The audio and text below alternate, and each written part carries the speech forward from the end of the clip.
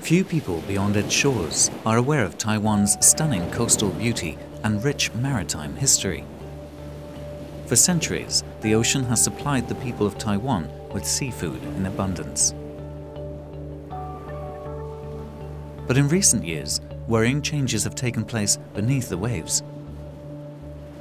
Following decades of overfishing, coral destruction, and a lack of protection, the once thriving reefs of Taiwan are becoming a wasteland.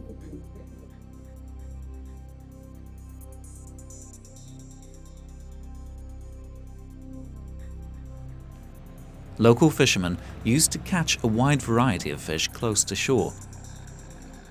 Now, village ports once bustling with activity are quiet for much of the season. Many fishermen have largely lost their livelihood and are forced to venture further out to sea in search of fish. 因为外海拢外国迄边拢用迄大型的围网咧围吼，啊，到即马到这台湾来吼，都少去啊。拢即马变成船啊，拢爱走介远才了有啊。有拢走到菲律宾去掠，啊，台湾这要掠即马都变成较少啊。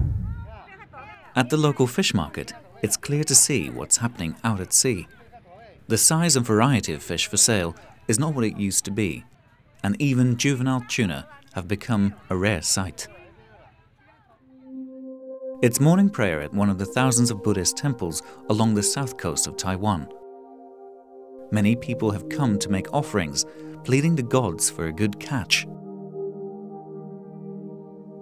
But in reality, with so little fish left on their own shores, large Taiwanese fishing vessels now travel thousands of miles into the Pacific Ocean in search of fish. Here, they join a vast international fleet in the plunder of some of the last remaining tuna schools on the planet.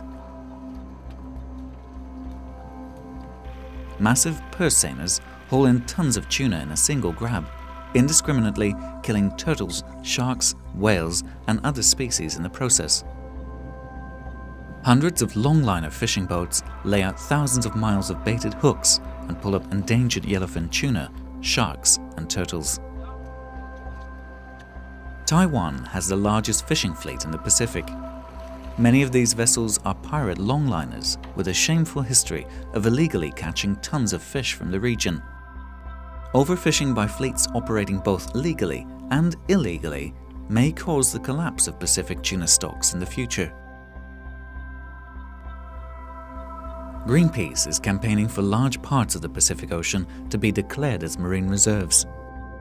No-take areas that will allow the survival for tuna and the fishing economies that depend on them.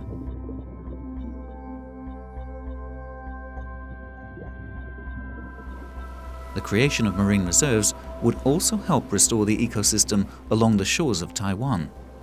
那我觉得每一个人哈都是地球公民嘛， 那我们都应该有义务去保护这个地球，而且每一个行动都应该能够丰富地球的所有的生命。For hundreds of fishing communities in Taiwan, the establishment of marine reserves might be the last chance to ensure their way of life does not soon vanish forever.